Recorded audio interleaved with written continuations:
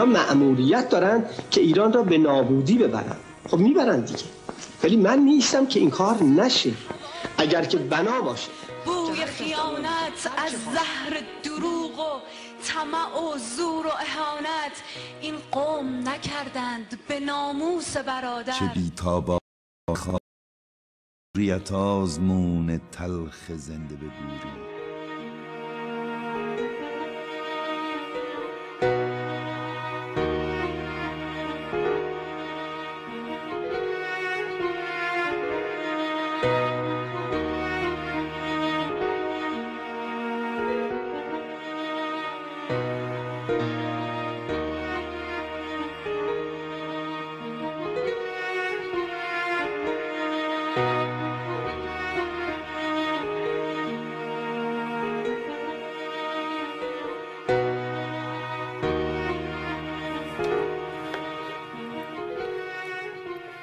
امشب از شعله های اشک گذشتم. روبروی خودم دوباره نشستم. آینه بر سپیده ها مانده است. دلم از قهر و کینه آکنده است. چه شدن چشم های شادانم؟ دیگر از عاشقان نمی‌خوانم. پیکر نوجوان خونینم در کف کوچه خفته شاهینم. چشم بانوی میهنم تاریک زده تیرش ز سنگری نزدیک. آن یکی در اوین نفرینی جرم او اتهام بیدینی. این سو اما شکوه محسا بود. که صدایش امید فردا بود.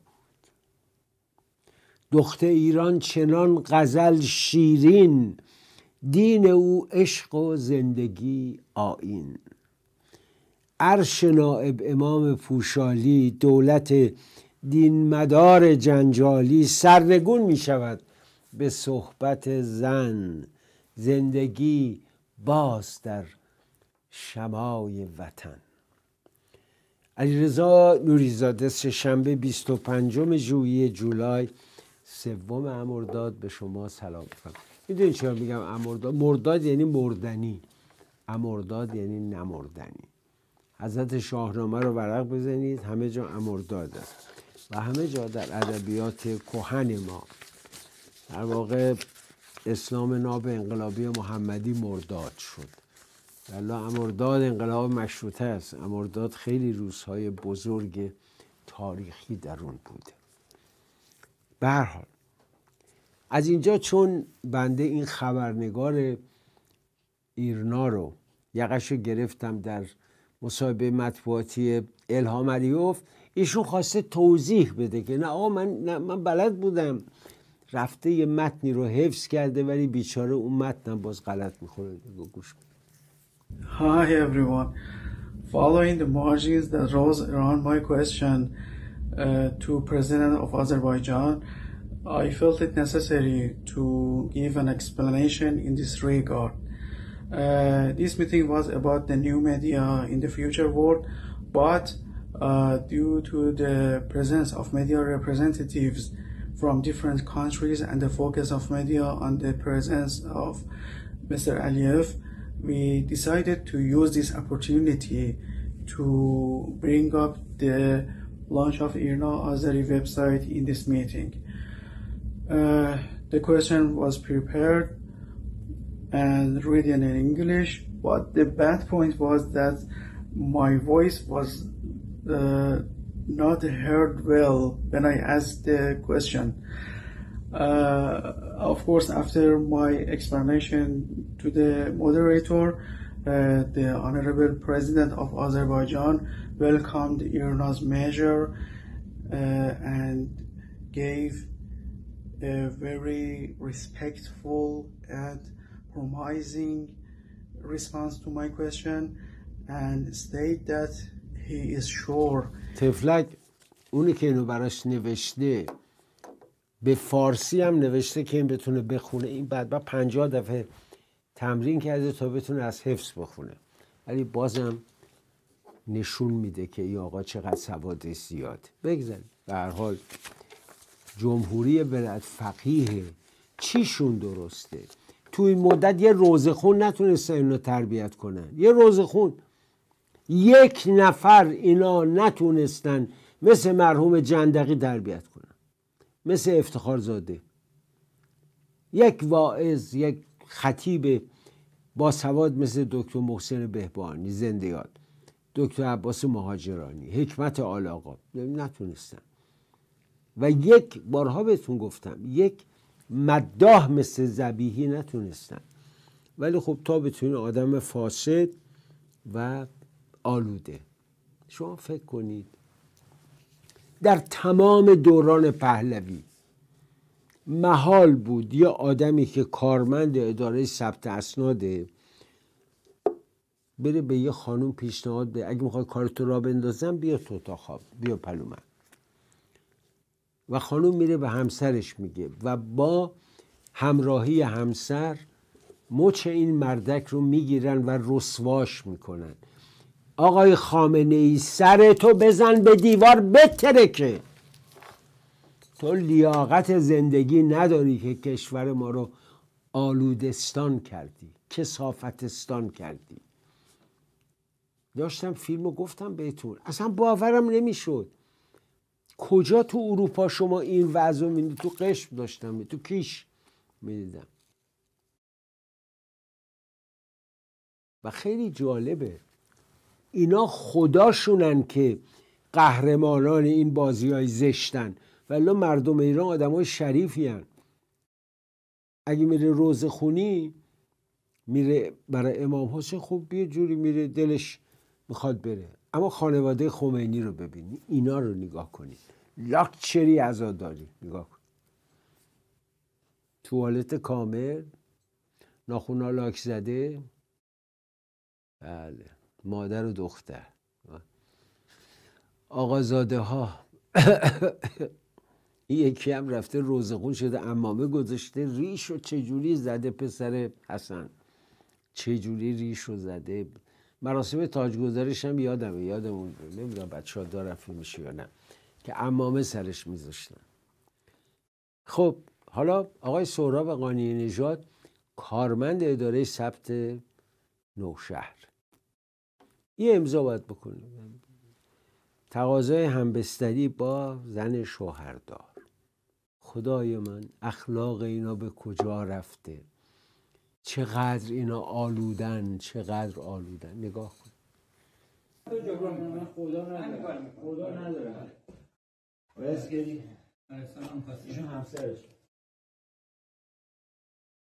خدا الان تو به من بگو اما زنگ بزن بزن خب معمول بیاد این کاری نداریم بزن معمول بیاد. هر این بازی زن اینا پیش خدا درست نیست. من هیچ به این گوش میدم آدمی بود که دم از خدا پیغمبر میزه زن می‌زنه گوشی امام رضا رو می‌خونه.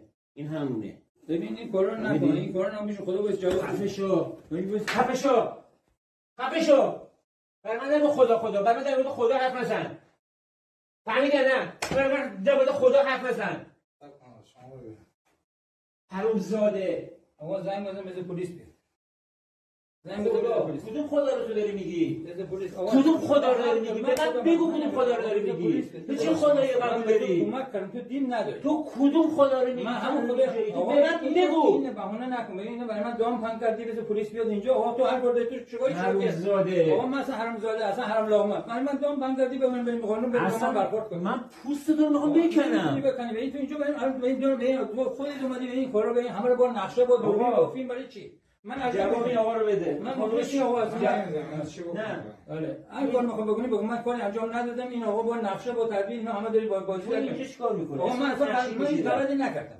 هیچ غلطی نکردم. غلطی نمی‌تونی بکنی. گوی نمی‌تونی آقا من می‌دونستم تو اینجا برای من دام بم بگم من آقا مگه آقا این خانم اومد اینجا. دارم. من دعوای زمین دارم. اینجا. کجا؟ اینجا اینجا وقتی چیز داری آقا من خیلی خونه آدم ها میرم من دعوت می‌کنم من میرم چه می‌خوری. آقا من به تو نگفتم الان یه خانم اومده من شک این موضوع رو کردم این خانم همراه خانم همراه کو؟ زنگ بزن بیا. الان چه فایده داره؟ این چه کاری می‌کنی؟ تو گفتی نه خانم نه یا نگفتی تلفن تو اصلا. من هر چی گفتم خانم نیا شما چرا با قبول می‌کردی؟ روز نه، اول تو اداره. بلند نشدی با من دست ندادی؟ من تو احترام کردم این چه حرفی احترام با همه کار به همه دست میدی؟ این دست مثلا تو چرا تو جبران می‌کنی؟ خدا کار نداره. خدا نداره. بس کردی علیه السلام. ایشون همسرش. الان تو به من بگو آقا زنگ بزن بزن خب مامور بیاد این کاری نداریم بزن مامور بیاد. این بازی رو در نیار اینا پیش خدا درست نیست. من هیچ به این گوش من آدمی بود که دم از خدا پیغمبر می‌زد زن می‌زنی گوشی امام رضا رو می‌خونه. این همونه. ببین این کارا رو نکن این کارا رو پیش خدا باید جواب خفه شو بگی باید- خفه شو خفه شو من بسیار متاسفم که این چیزها رو پخش کردم. بسیار متاسفم.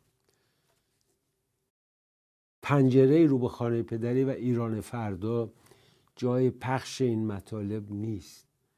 ولی چه کنم؟ چه کنم؟ برای اینکه یادآوری بکنم که این رژیم از بالا تا پایینش فاسدن. من واقعا شرم می‌کنم راجع به بعضی از این حضرات بگم. راجع به آقای ولایتی بگم. راجع به آقای حداد عادل بگم. راجع به آقای نیری بگم که حالا آلمان کنگر خورده و لنگر انداخته. آدم کش. آیا قوانین جهانی راحت از کنار یکی رد میشه که 6 هزار نفر رو کشته؟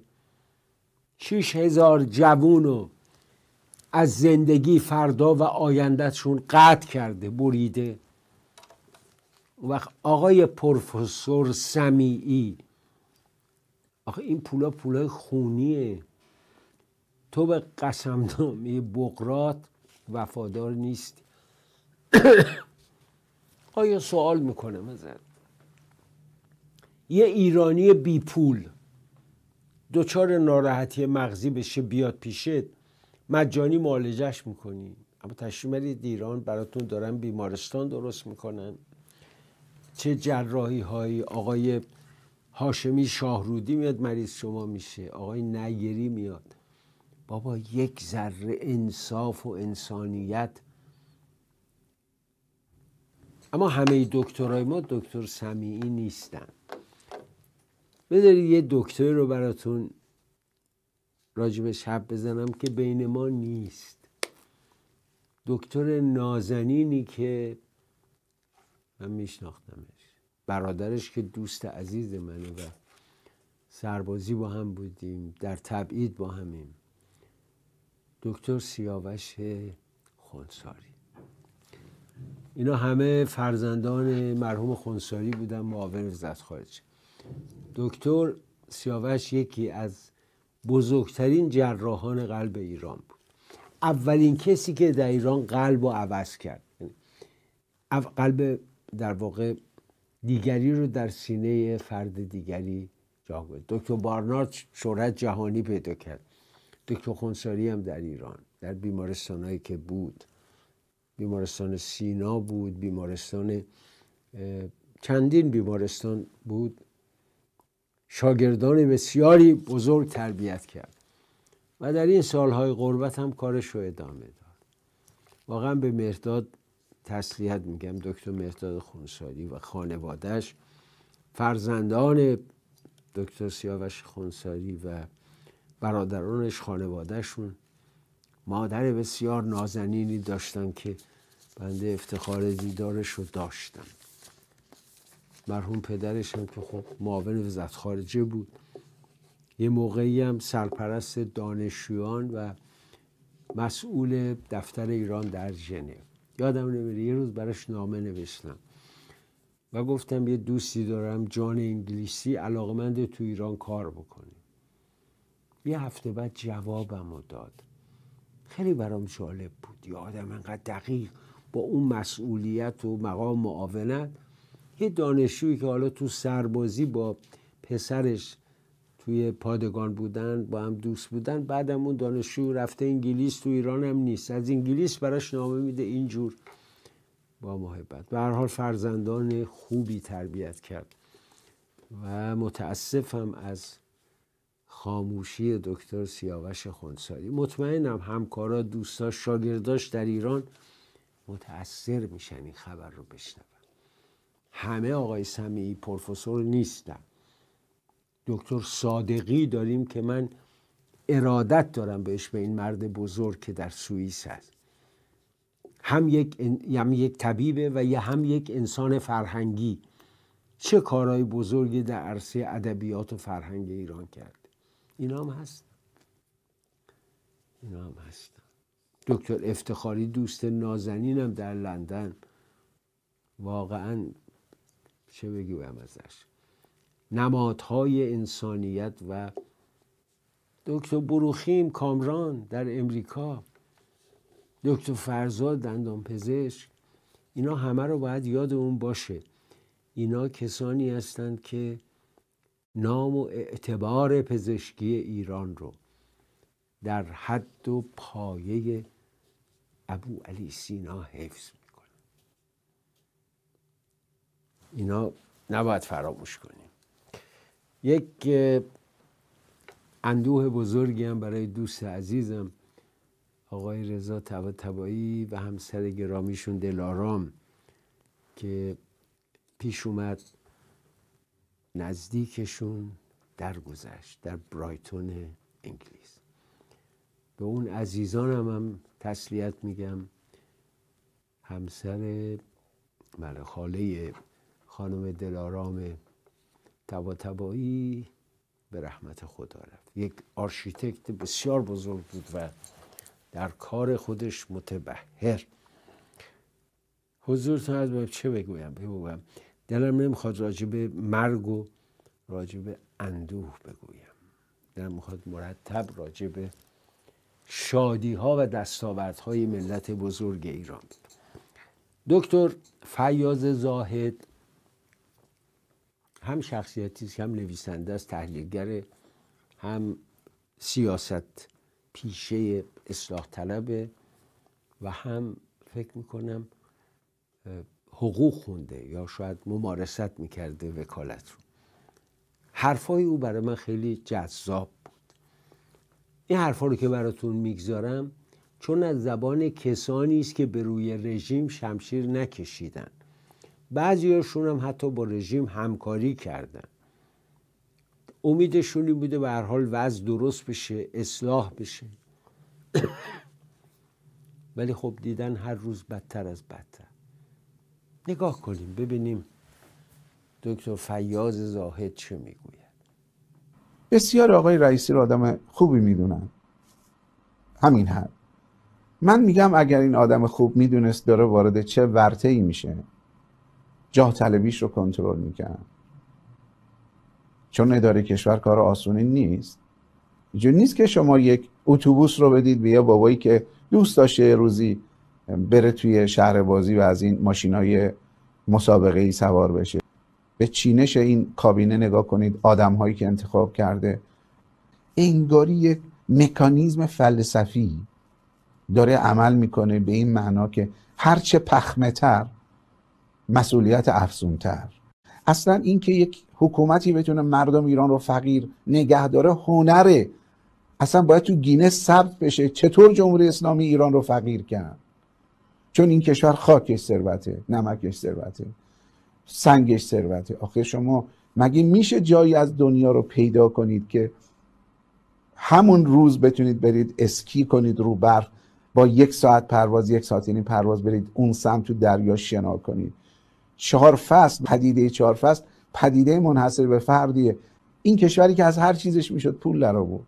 از جاذبه های گردشگریش از منابع کانی و نفتیش.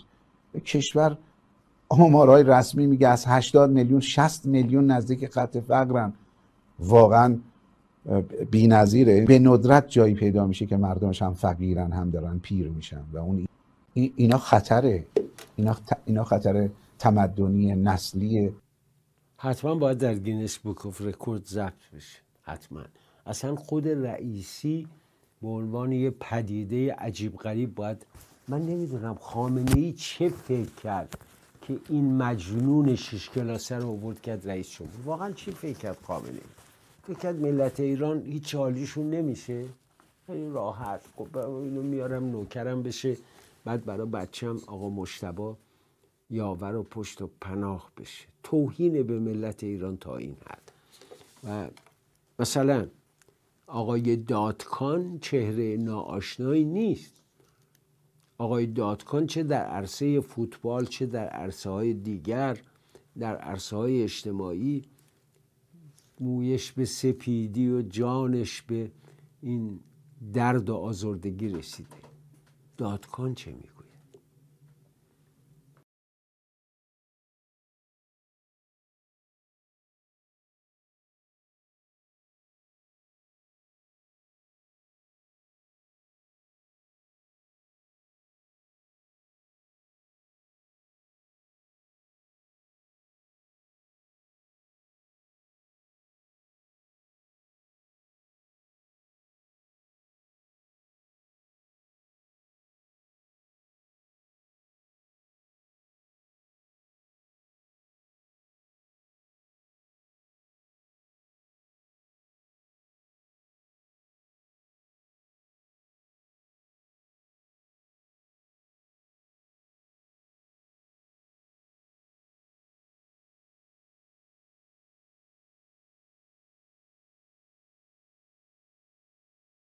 علیرضا نوریزاده نیست آقای دادکان که داره به شما میگه در این مملکت چه میگذره.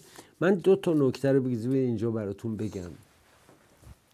وقتی که صحبت شد فکر کنم رئیس اتاق صنایع بود یا یکی از اینا بود اشاره کرد که تعامل تهاتری با ونزوئلا هیچ سودی برای ما نداره. چون ونزوئلا کالایی نداره که ما طالبش باشیم که از اونجا وارد کنیم. در حالی که ما داریم ما میفرستیم کشتیامون خالی برمیگرده. نگاه کنید دیگه. کانون مؤسسات حمل و نقل. پولی بابت فروش کالا به اونجا دریافت نمی کنیم خب این خیلی تلخه. خیلی تلخه.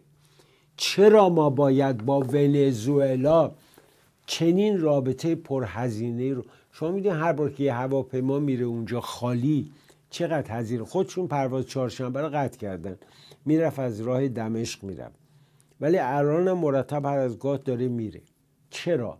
ما باید از تهران به کاراکاس پرواز کنیم برای اینکه بگیم به آمریکا ما بغل گوشتیم هیچ غلطی نمی‌تونید به آمریکا بکنید. هیچ غلطی. تمام این پهباداتون موشکاتون توف سربالا تو صورت خودتونه. رفتی برای تاجیکستان کارخونه زدی. امارات زرنگتر بود. رفت کارخونه زد برای ماشینای زرهی. او داره تولید می‌کنه فعلا سالی 120 تا مال شما خوابید. چون همه چیتون حق بازیه. گفتم قبلا. همه چیتون حق بازیه. از بالا تا پایین تو حق بازی. دروغ میگید. حکومتی که به ملتش دروغ بگه این حکومت لیاقت یک روز ماندن رو نداره. داشتم تصاویر رو می‌دیدم در مراسمی گرفته بودم به مناسبت روز بازنشستگان و بازنشستگان بیچاره در بیرون. چه خبره؟ دیپلمات های سابق جمهوری ولایت فقیه کارمندان وزارت خارجه با همسرانشون اونجا بودن. حالا جدا مردای طرف زنای طرف. باری کلو مرتاد آسمانی خیلی قشنگ گفتی. زنای یک ور مردای یک ور شعر شهریار و آهنگ تو خانم گوگوش. سالن بزرگ تو نیاوران باشگاه وزارت خارجه چه جایی هم مرحوم اردشیر زاهیزی درست کرد. که اینا بهرش رو ببرن. حالا نشستن دیپلومات ها و آقای امیر عبداللهیان وزیر خارجه ولی فقیه هم اونجا نشست. آقای فتحلی هم معاون سخنرانی می‌کنه. من این عکس ها رو تمام خیلی زیاد بود چل پنجاه تا عکس بود. تماما دیدم. دو تا از همکلاسیامو اونجا دیدم که خب کار می‌کردن بعدم بازنشسته شد. ولی خدایا اینا دیپلمات بودن. یه انصاری توشون بود که سفیر شد و معاون بود و در انگلیس کاردار و بعد سفیر شد. که یه مقدار قیافش به یه دیپلمات حداقل می‌خورد. بقیه تفلک و اینا رو من نمی‌دونم اینا کجا جمع کرده بودن. اینا به عنوان دیپلمات های ایران. یارو اومده بود سه تا انگشتر عقیق تو این دست و اون دستش بود و در گوش وزیر خارجه داشت التماس می‌کرد. بعد زنانی که و... و... سفیر شدن به اصطلاح یا همسر سفیری بودن که درگذشته.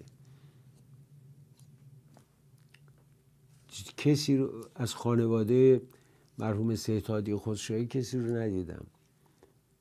مردی که به خاطر خمینی پشت به رهبرش و مرد بزرگیشون آیت الله شریعت مداری کرد. شد نماینده خمینی در وزارت ارشاد. بعدم سفیر رژیم در واتیکان آخرش هم رئیس دفتر حفاظت منافع ایران در مصر. شش روز جنازش در گوشه قصالخونه قم افتاده بود. به عنوان مرده ناشناس تو جریان کویت 19 کرونا. همسر او رو دعوت نکردن. و همسر خیلی های دیگه. چرا مرتزا سرمدی نبود؟ خانوادهش هم خودش هم نبود. چون آرش میاد سرمدی بیاد. چرا عرستو نبود؟ اون آرش میاد بیاد. چرا ملکی نبود؟ تمام آجا... چرا امیر محلاتی نبود؟ تمام آدم هایی که بودن و خدمت می‌کردن و مهر به وطن داشتن عشق به ایران داشتن جاشون خالی بود. و الباقی اینا, اینا دیپلوما. شما برید یه تصویر دیپلماسی ایران رو در دوران مرحوم خلعتبری نگاه کنید دیپلمات ایرانی رو ببین. جعفر ندی مشایق فریدنی استاد جعفر رائد. اینا رو نگاه کنید پیراسته دکتر عاملی. اینا رو آدم نگاه می‌کنه. با دیپلمات های جمهوری جهل و جور فساد بذاریم ببرمتون به مجلس محسا و مرجان وحدت دو خواهری که با هم می‌خوانند. این آهنگی که خیلی دلنشین. گوش میدیم. زیبا بود بدون ساز. آهنگ معروفی رو دو خواهر می‌خواد روح بخش خواننده موسم گل و روح بخش خاله زندیات پوران بود. یه روزی ما با قانعی یاد همه رو میگم یادش بخیر رفتم چقدر خالی شدم. با حسین قانعی رفتیم منظر روح بخش خواستیم باید صحبت کنیم بعد قبلا تو جنگ شبم یک گفتگوی باش کردیم. خواستیم بریم یه برنامه درست کنیم. پوران هم اونجا. گفت خاله این موسم گل بخون. خوند و پورانم باهاش اومد. چقدر زیبا بود. من یادم نمیره که این چه تأثیری در من نوجوان آن روز گذاشت. و امروز هم چقدر این دو خواهر نازنین محسا و مرجان وحدت چقدر زیبا خوندن. این دویت و تقسیم صدا رو چقدر قشنگ انجام. درود بر شما. درود بر شما. الهه محمدی نیلوفر حامدی تو دادگاهشون بود. نیلوفر او به کارم افتخار می‌کنم. بازم اگر برم همین کارو می‌کنم. افتخار می‌کنم. فکر نکن نیلوفر و الهه تو همین جنبش محسا و اینا بودن نه. تصویری براتون نشون میدم. مال خیلی قبل از اینه تو استادیوم. نگاه کنید ورزشگاه آزادی. منتظر ما بمون.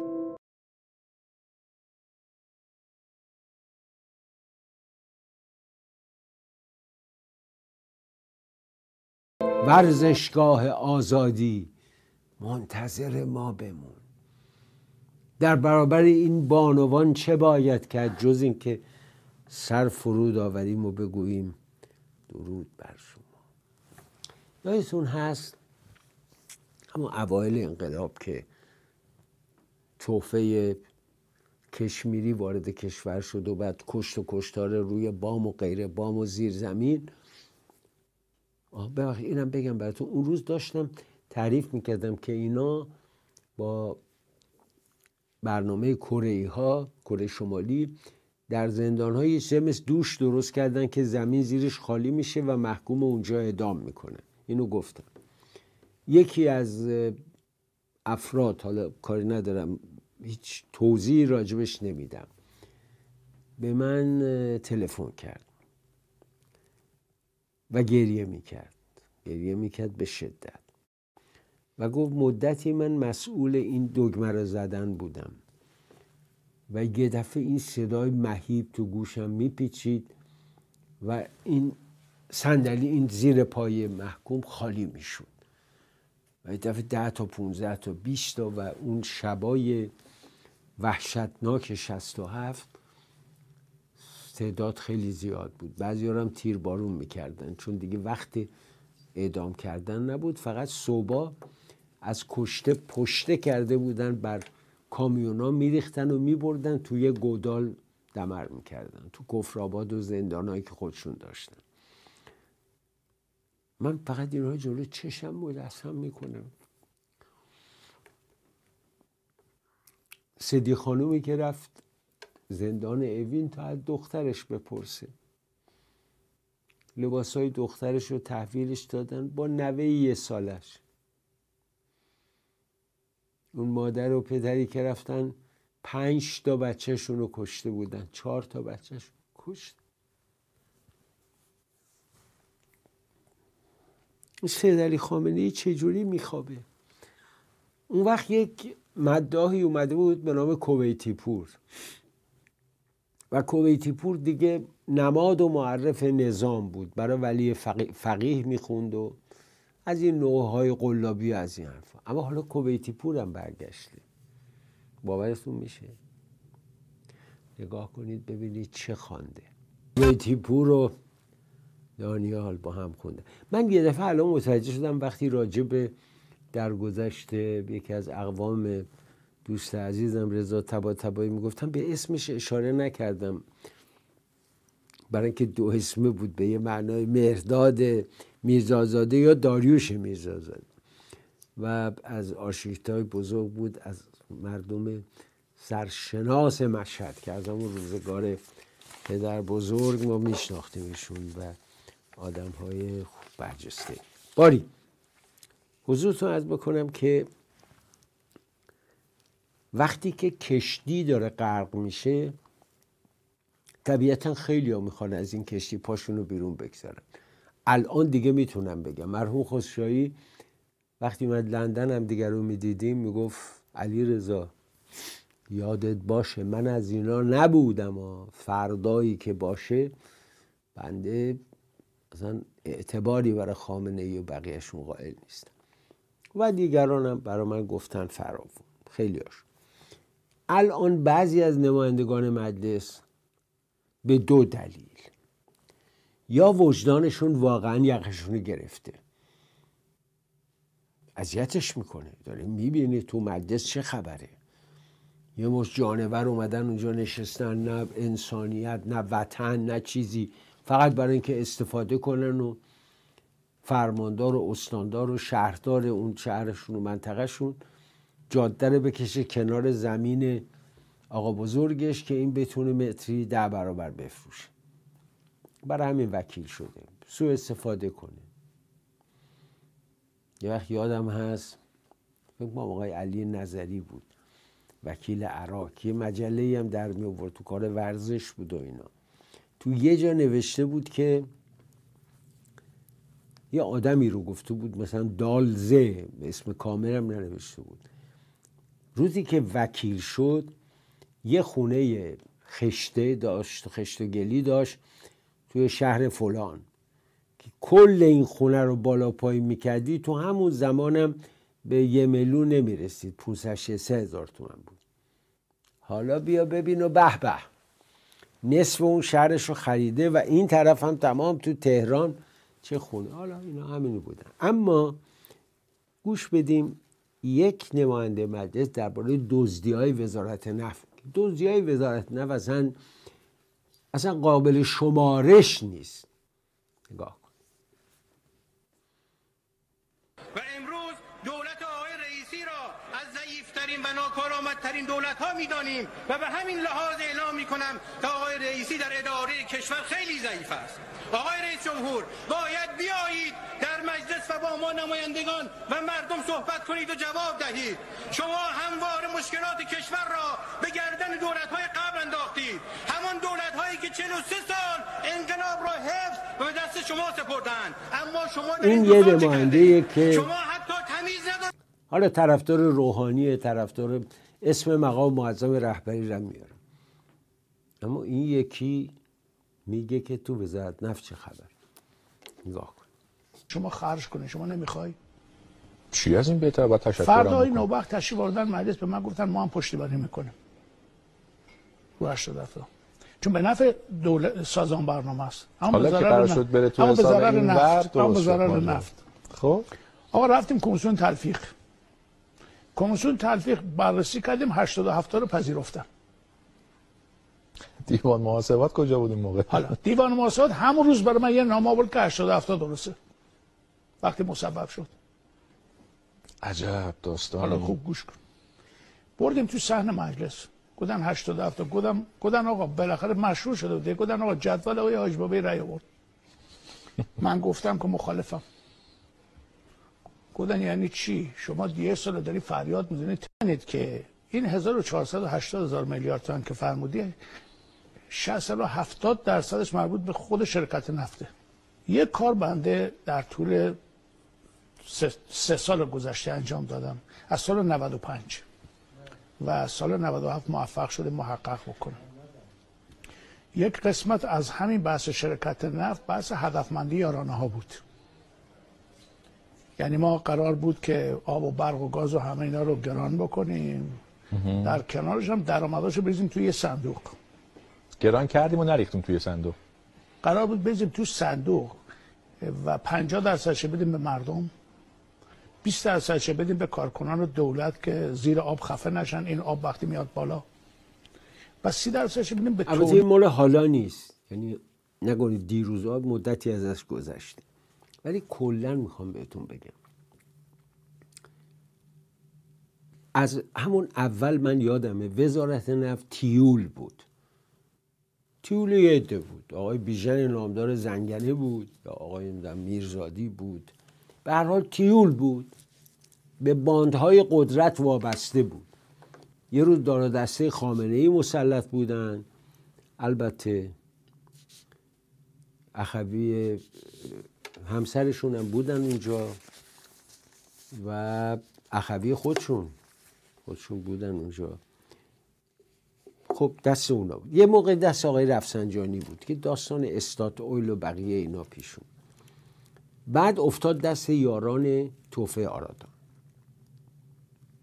کردان و مردان و اینا اومدن اونجا افتادن. الانم که آقای راجیه که از نوکران رئیسیه.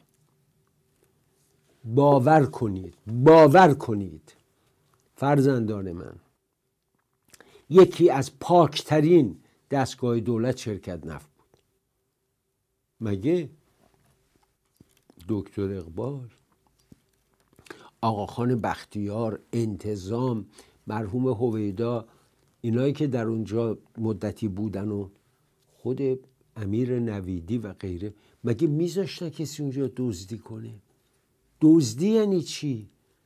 به همین دلیل رژیم با تمام پرونده سازیاش نتونست یه برگه علیه اینو پیدا کنه. مرحوم نزیح یه هفته بعد از که شرکت نفرد منو صدا زد. خب دوست بودیم از قدیم رفتم پیشش. گفت آقا می‌تونم خواهش کنم آقای نویدی قوم شماست. خواهش کنم ایشون یه دو سه روزی بیاد. من واقعا احتیاج دارم یکی بهم راهنمایی کنه چون نمی‌دونم. من به مرحوم نویدی گفتم. مرد بزرگی بود. شوهر خالم بود و پسرمه مادرم. ایشون رفت. بعد از یک هفته مرحوم نزی خیلی از من تشکر کرد. و با راهنمایی های مرحوم نویدی امیر نویدی آقای نزیح بسیاری از مدیران شرکت نفت رو نگه داشت. شامل تصویه نشدن. چون کارشون رو نگاه کردن.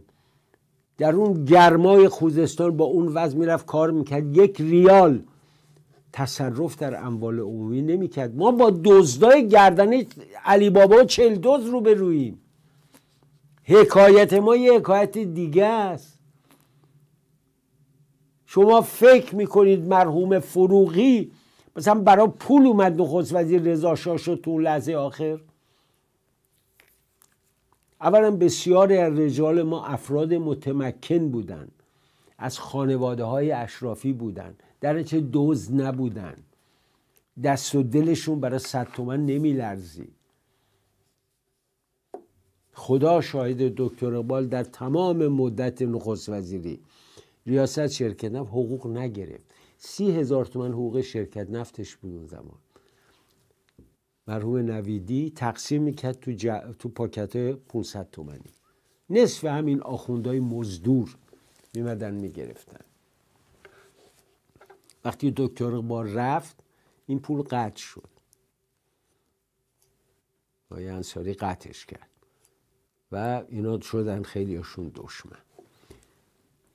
شما محال بود در دادگستری ما. محال بود. ممکنه مثلا یه نفر یه سوء استفاده یه جایی می‌کرد و توی شهرستانی ولی دستگاه قضایی پاکی داشتیم. آنچه مرحوم داور فرمان فرما مرحوم پیرنیا پای گذاری کردن باقی بود آنچه رضا شاه حامیش بود باقی بود و افسوس. امروز این دادگستری ماست. محسنی اجهی براتون گفتم. آقازادهشون کجا دارن؟ عشق می‌کنن. آقای ترامشلو و اهالی و خانواده و هواپیمای شخصی و غیره. و این محسنی اجهی خدا شاهده خدا شاهده قسم می‌خورم. اول انقلاب یه قبای پاره تنش بود. یک دونه دشداشه پاره. اصلا قیافش رو می‌دیدی می‌گفتی پنج تومن بهش بدم. دلت میسوخت. همشون اینجا بودن. ربانی شیرازی اومده بود تهران. دور این یقش اینقدر چرک بود دلت نمی‌خواست نگاه بکن وقت میشه محاکمه می‌کرد حکم اعدام می‌داد. تاریخ رو باجگونه نوشتن. حق بازی های خودشون رو عنوان کرامت بهش دادن. ولی من بهتون قول میدم. روزی که نه چندان دوره در برابر ملت بزرگ ما باید پاسخگو باشن. همین سید علی خامنه ای همین سید علی خامنه ای